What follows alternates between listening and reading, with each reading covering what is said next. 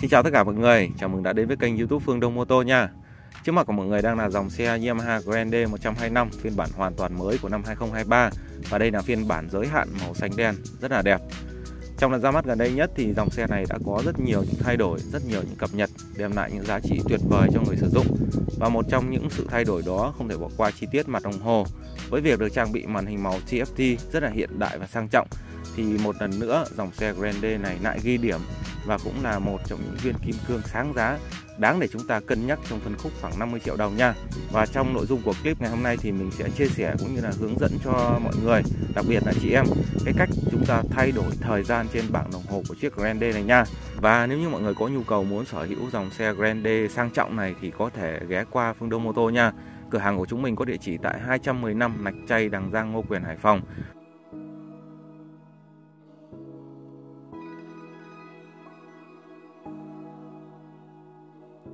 Đây chính là khu vực bạc đồng hồ của chiếc Grande Thiết kế tạo hình giống như một viên kim cương Nhìn rất là đẹp và sang trọng mọi người nha.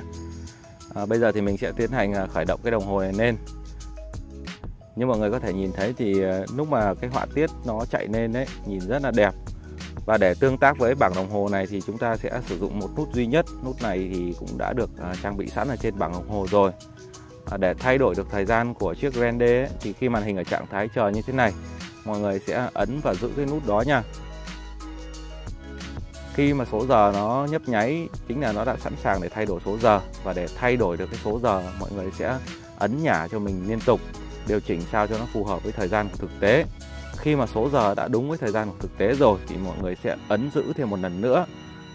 Khi số phút trên đồng hồ nhấp nháy, thì chúng ta sẽ tiến hành thay đổi số phút. Để thay đổi số phút, thì mọi người cũng sẽ à, ấn nhả lưu ý là ấn nhả mọi người nha, chứ không có ấn giữ. Ấn nhả liên tục nha. Cái nút này thì được cái nó rất là nhẹ nên là chúng ta cũng ấn hết sức là thoải mái thôi. Khi mà số giờ và số phút đã đúng với thời gian của thực tế thì mọi người sẽ ấn giữ thêm một lần nữa. Lúc này ở đồng hồ thì sẽ không có chỗ nào nhấp nháy nữa, thì ờ, mọi người sẽ tắt và khởi động lại cái đồng hồ nha. Để kiểm tra xem thời gian đã được cập nhật thành công chưa